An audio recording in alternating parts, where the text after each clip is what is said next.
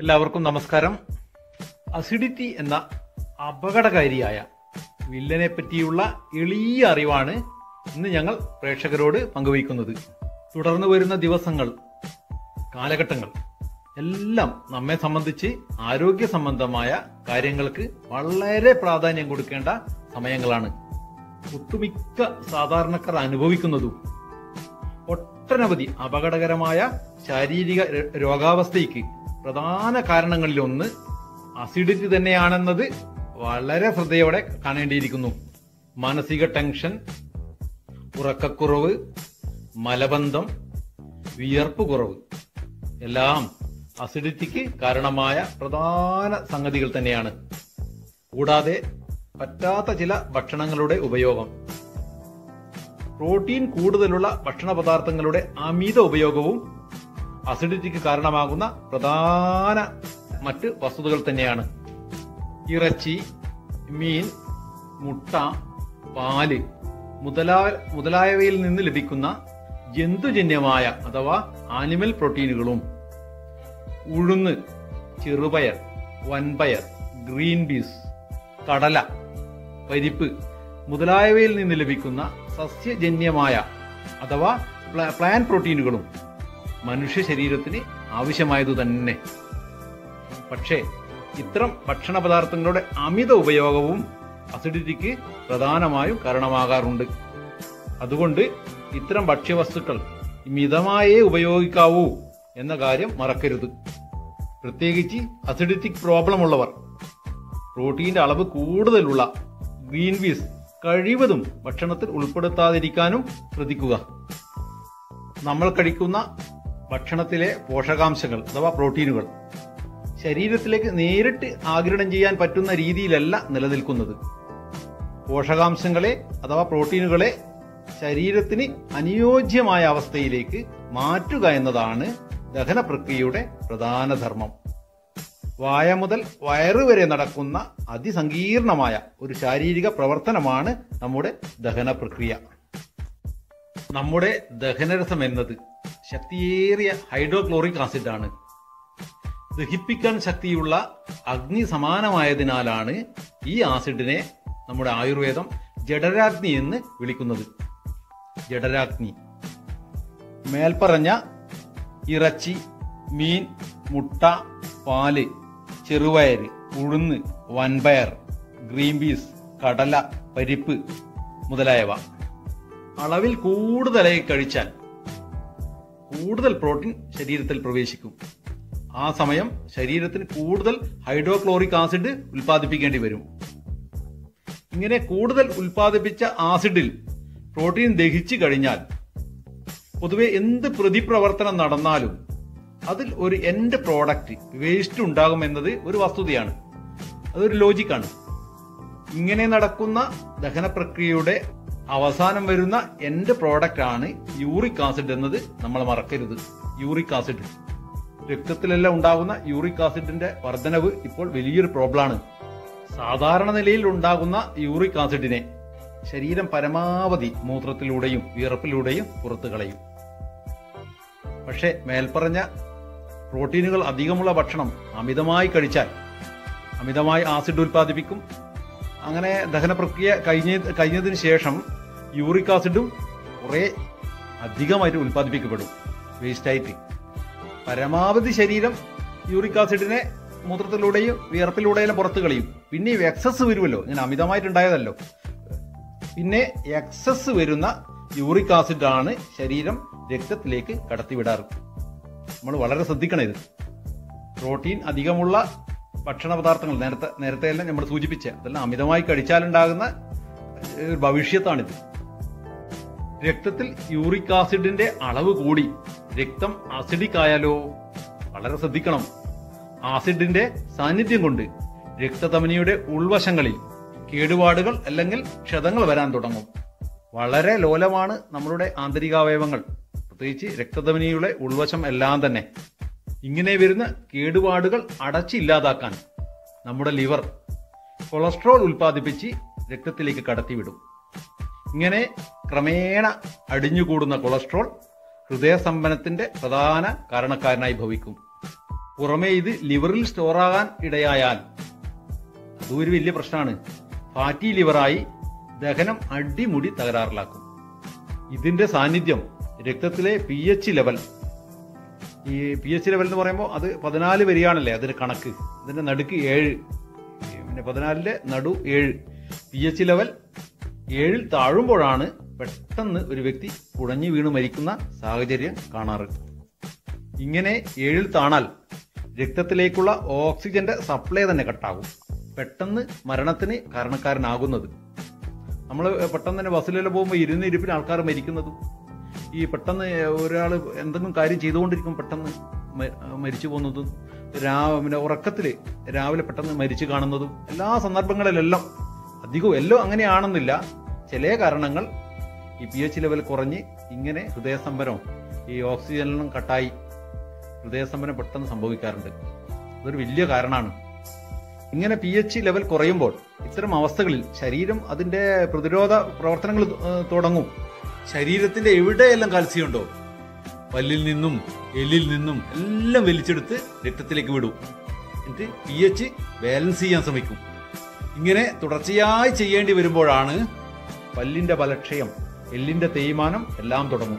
നമുക്ക് തുടർന്ന് പേശീവേദന join pain മസിലുകൾ ചുരുങ്ങുക മസിലുകൾക്ക് ബലക്ഷയം സംഭവിക്കുക ഇതെല്ലാം ഭാവിയിൽ വരുന്ന ഇതുകൊണ്ടുണ്ടാകുന്ന രോഗ സാധ്യതകളാണ്. അസ്ഥികളുടെ സന്ധിയിലും ജോയിന്റുകളിലെല്ലാം ഇത് അടിഞ്ഞുകൂടുമ്പോൾ റുമാറ്റിക് ആർത്രൈറ്റിസ് സന്ധിവാദം ഇതിനെല്ലാം കാരണമാകാറുണ്ട്.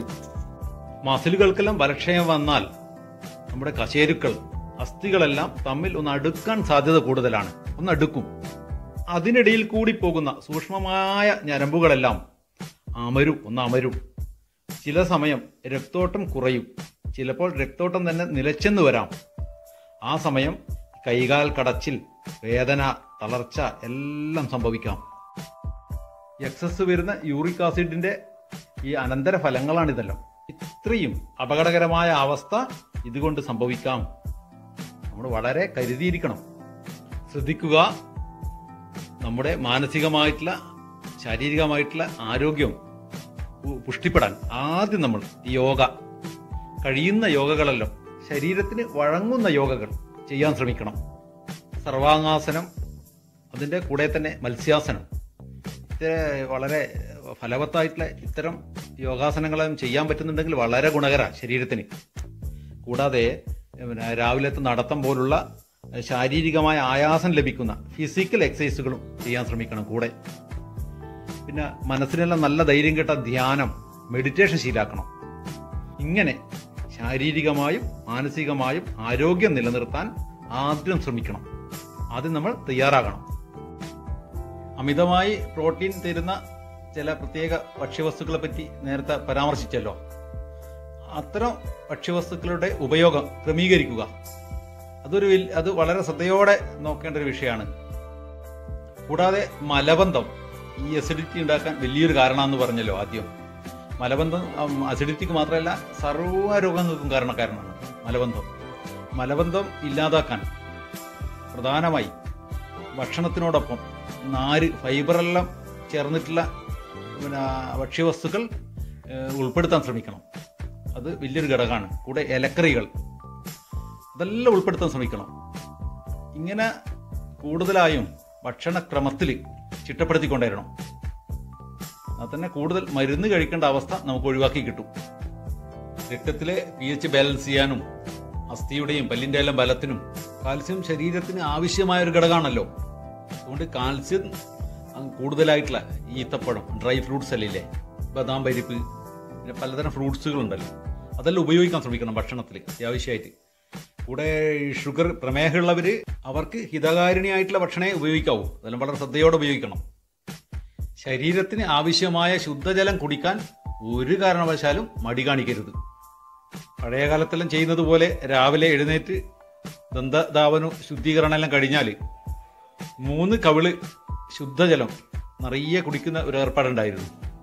അത് എല്ലാം പുനരാവർത്തിച്ചാൽ ശരീരത്തിന് ഏറെ ഗുണം ചെയ്യുന്ന പഴയകാല ചിട്ടകളായിരുന്നു. നമ്മുടെ ഇഷ്ട ഭക്ഷണമാണ് ഇഡ്ഡലിയും ദോശയും. ഇഡ്ഡലിയും ദോശയും അപകടകാരിയല്ല. പക്ഷെ അത് പുളിപ്പിച്ച് കഴിക്കുമ്പോഴാണ് അസിഡിക്കായി മാറുന്നത് അപകടകാരി ആകുന്നത് ഈ തിരക്ക് പിടിച്ച ലോകത്ത് ഫ്രിഡ്ജിലേക്ക് കയറ്റി വെക്കും. ഉഴുന്നും അരിയെല്ലാം കൂടി അരച്ചു വെച്ചിട്ട് അത് ആഴ്ചകളോളം ഉപയോഗിക്കും. തല തലമുറകൾക്കും എല്ലാം അത് ആയുസ്സിനെ വളരെ പ്രതികൂലമായി ബാധിക്കുന്ന ചില ചിട്ടകളാണ്. നമ്മൾ വളരെ ശ്രദ്ധിക്കണം. പിന്നെ ഉഴുന്നിന് മയക്കം വരുത്താൻ പുളിപ്പിക്കണം തന്നെ ഇല്ല. അത് തേങ്ങയെല്ലാം കൂട്ടി അരക്കുന്ന പല മാർഗങ്ങളുണ്ട്. അത്തരം മാർഗങ്ങൾ അവലംബിക്കുകയാണ് നമ്മൾ വേണ്ടത്. ഈസ്റ്റ് ചേർത്ത് ഉപയോഗിക്കുന്ന പലഹാരങ്ങൾ എല്ലാം ഒഴിവാക്കണം. അത് പലഹാരങ്ങളിൽ പൊന്തി കിട്ടാനാണ് ഇത് ഉപയോഗിക്കുന്നത്. ഇത് പൊന്തി കിട്ടാൻ ഇത് ഉപയോഗിക്കുമ്പോൾ നമ്മളെ ആയുസ്സും പൊന്തിപ്പോകും മുകളിലോട്ടേക്ക്. അത് വളരെ ശ്രദ്ധിക്കണം. ഈസ്റ്റ് ഒരു പ്രിമിറ്റീവ് ബാക്ടീരിയ ആണ്.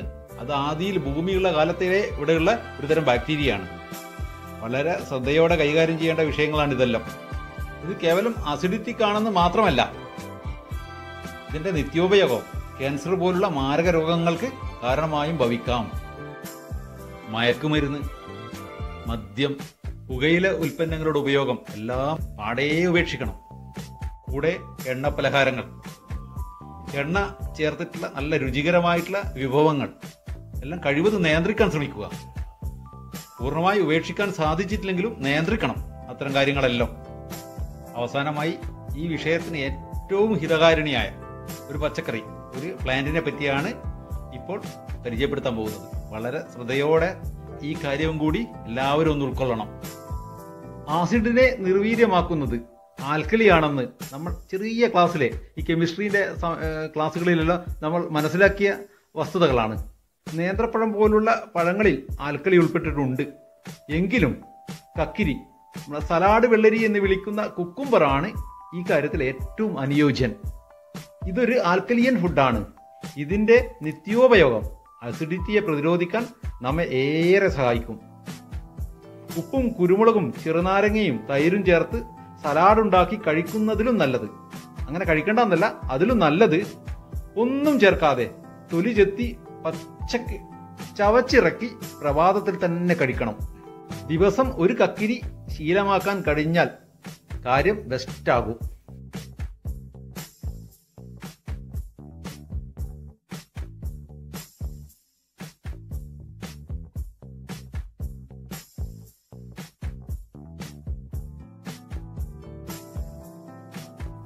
vitamin B vitamin B two vitamin B three vitamin B five vitamin B six പിന്നെ folic acid vitamin C calcium iron magnesium phosphorus potassium zinc തുടങ്ങിയവയെല്ലാം അടങ്ങിയ ഒരു ഉത്തമ ഫലമാണ് നമ്മുടെ ഈ കക്കിരിക്ക. ഇപ്പം കക്കിരി കഴിക്കണമെന്ന് കേൾക്കുമ്പോൾ വാരി വലിച്ച് കഴിക്കാൻ പാടില്ല അതും. അതും അന്നേരം നിർജലീകരണം. അമിതമായി കഴിച്ചാൽ നിർജലീകരണം ഉണ്ടാകാൻ സാധ്യതയുണ്ടാകും. മിതമായി കഴിച്ചാൽ ശരീരത്തിലെ ജലാംശം നിലനിർത്തും. ശരീരത്തിന് ക്ഷീണമെല്ലാം കംപ്ലീറ്റ് മാറ്റും. ചില ചടങ്ങിനെല്ലാം അത്യാവശ്യം പോകേണ്ടി വന്നാൽ പ്രോട്ടീൻ അധികമുള്ള ഭക്ഷണമാണ് എനിക്ക് വേണ്ട എന്നൊന്നും പറയാൻ പറ്റാത്ത സാഹചര്യം ഉണ്ടാവും. അങ്ങനെ നിർബന്ധമായും കഴിക്കേണ്ടി വന്നാൽ ഓർക്കണം. മൂന്ന് നാല് മണിക്കൂർ കഴിഞ്ഞാൽ ഒരു ഗ്ലാസ് നിറയെ പച്ച കക്കിരി ഈ കുക്കുംബർ ജ്യൂസ് കഴിച്ചിരിക്കണം. അതിനെ കൊണ്ടുണ്ടാകുന്ന എല്ലാ അസ്വസ്ഥതകളും ഇത് കഴിക്കുന്നതോടെ മാറും. ഈ രീതിയിലെല്ലാം സ്വയം നമ്മൾ കാര്യങ്ങൾ ക്രമീകരിച്ചാലേ ഭാവിയിൽ ഇത്തരം ശാരീരിക രോഗാവസ്ഥയിൽ നിന്ന് നമുക്ക് സ്വയം രക്ഷ നേടാൻ സാധിക്കൂ. കാര്യമായ ശാരീരിക പ്രശ്നം ഉണ്ടാകുമ്പോൾ സ്വയം ചികിത്സ തേടാതെ ഡോക്ടർമാരുടെ വൈദ്യന്മാരുടെ സേവനം കൃത്യമായും തേടിയിരിക്കണം. ഇതൊരു ശാരീരിക മുന്നറിയിപ്പ് തന്നെയാണ്. എന്റെ എളിയ അറിവുകൾ. എല്ലാവർക്കും ഇഷ്ടമായെന്ന് കരുതട്ടെ. ഇഷ്ടമായെങ്കിൽ ലൈക്ക് ചെയ്യാനും ഷെയർ ചെയ്യാനും സബ്സ്ക്രൈബ് ചെയ്യാനും മറക്കരുതേ. പുതുതായി സബ്സ്ക്രൈബ് ചെയ്യുന്നവർ അടുത്തു കാണുന്ന ബെല്ലൈക്കൺ എനേബിൾ ചെയ്യാനും ശ്രദ്ധിക്കണേ. വീണ്ടും നല്ലൊരു ഉപകാരപ്രദമായ വീഡിയോയുമായി വരുന്നതുവരെ നന്ദി നമസ്കാരം.